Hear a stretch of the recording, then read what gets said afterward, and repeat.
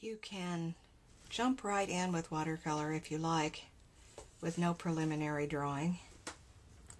I'm keeping this simple for speed, but this is a wind chime that hangs outside my studio. I've had it for years, and I'm just getting the basic bell shape. It's pottery, and it's very cool. It has a copper clapper that comes down below it.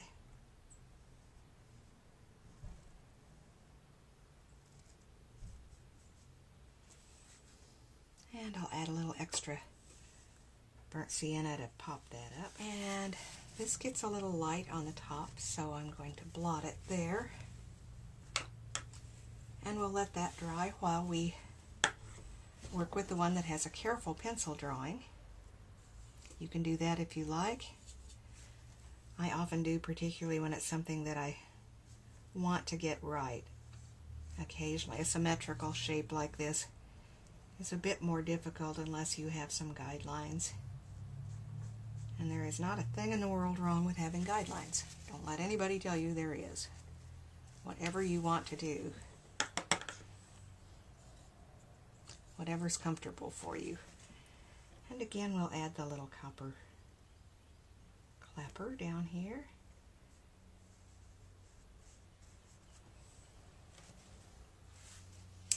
And if you want, you can do your careful pencil drawing as a guideline. Just make it a looser one in, in that case and put your ink over it. A lot of people who do um, architecturals like to have some uh, pencil guidelines before they jump in with the ink. And I don't blame them a bit. The string here and our copper. Don't worry if you don't hit your lines exactly, that doesn't matter in the least. You can either erase them or you can leave them for a nice vibration. Either way is pleasing. And it, the uh, glaze is kind of loose here at the bottom. You can't see where the knot goes there, but as you can see here, it comes back out the other side. And there's just a suggestion of the edge here. Okay, we'll let those dry. Well, actually, ink being as it is, I can come right back in with the first layer of watercolor here.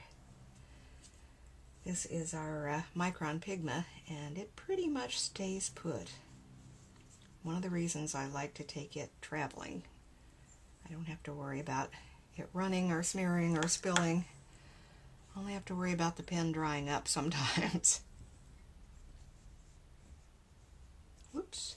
And again, I missed my line there, so I can just push it back with my thumb.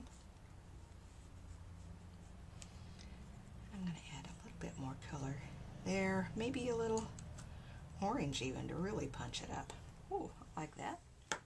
I'm going to add the light blue now to all three of these examples.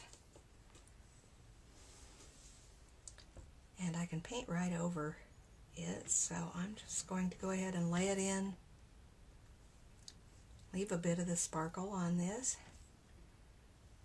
down the side, and at the bottom where the glaze doesn't quite meet.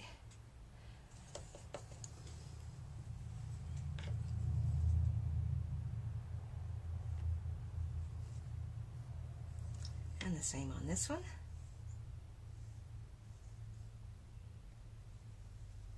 And I'm not worrying too much about whether or not I exactly hit my edge. It's not a big deal. And again, on the ink twin, you can see I came back in and added some little specks because the glaze has a specky effect, which I really liked.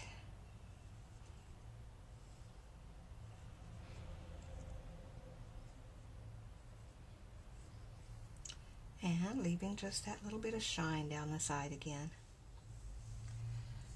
Going to add a bit of texture these guys. Oops. A little bit more burnt sienna. They've been out in the weather for a while, so they'll look a little bit more weathered and patinaed. Patina is one of my favorite words. One of my favorite things, too. Some people refer to it these days as wabi sabi. We'll come back in with the second blue. Oops, that's got brown in it, but that's okay. Still sticking with the cobalt because that's what the glaze actually is, and I like it a lot.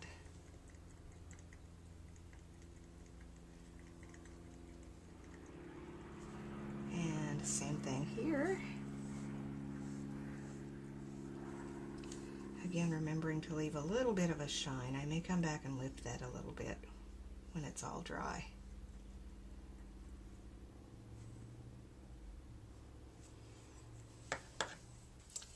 And one more here with the ink to guide me.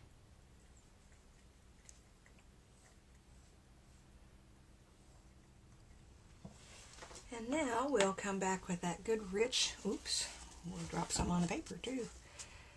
With that good rich blue, I'm going to uh, introduce a little ultramarine and a tiny bit of burnt sienna to gray it. Okay, now this comes up like this, and I'm just observing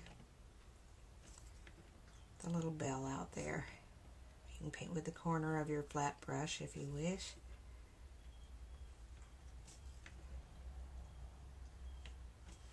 That works well.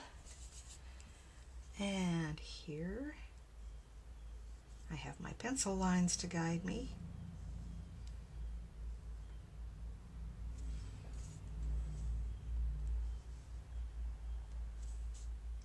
Again, not worrying about hitting them exactly, it doesn't matter.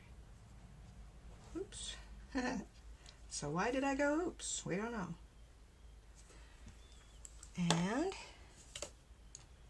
this one with our ink. I like to to deliberately miss the line just a little bit because it gives it a, a kind of a cool vibration. So I'm definitely not worrying about nailing it precisely.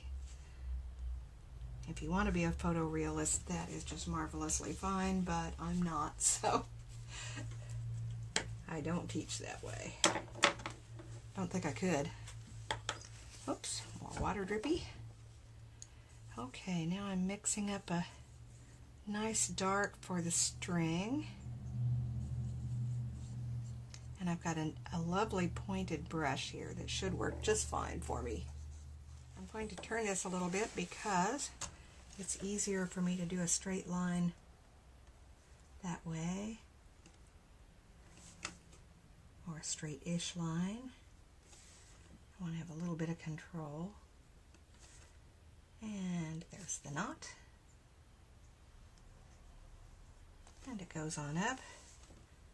Same thing over here. Oops, and forgot my knot. This one with the little string sticking out.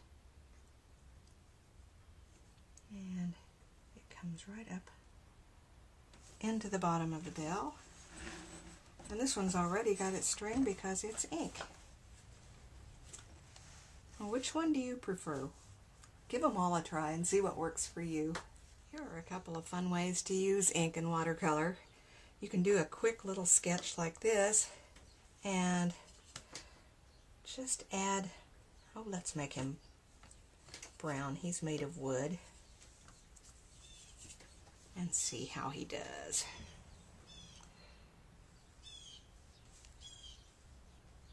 And just follow your lines and pay attention to where the lights and darks are a little bit. Don't feel like you have to fill in like you were in grade school. It's not that kind of a sketch.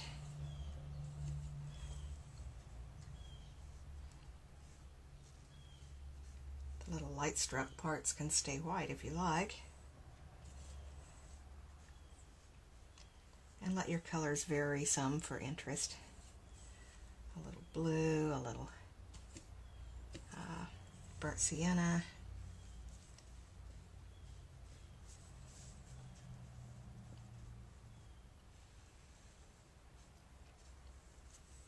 A little raw sienna.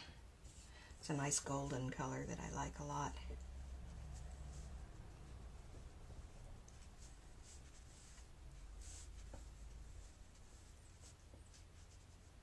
But even if your lines have been very loose and rough, a watercolor wash like this can help pull them together. For instance, we'll just do a very quick one of this same little guy.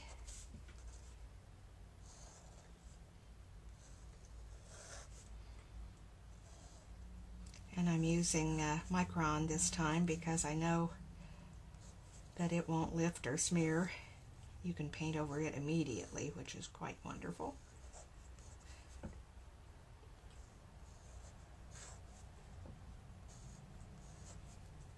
And bunny back legs. He doesn't have a tail, I don't know why. This is an old wooden toy that I've had forever. But the watercolor washes will pull him together and give him a kind of charm.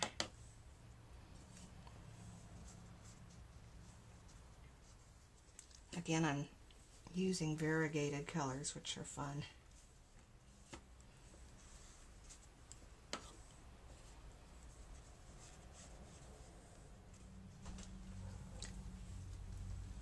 I'm going to try a different approach with this bunny. I've carefully drawn him with ink, much more carefully than the other two, and I'm going to just wet the paper all over him. You notice this is a little bit of a warm color. But I want to keep it light enough that his lines show through.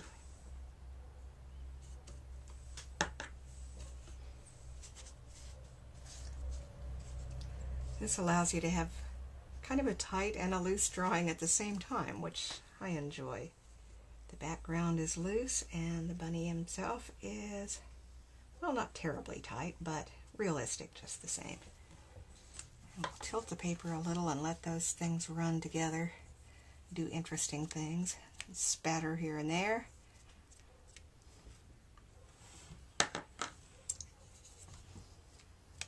Change color for more interesting spatter. It doesn't all have to be the same color. And I'm going to come back in and blot just a little bit here and there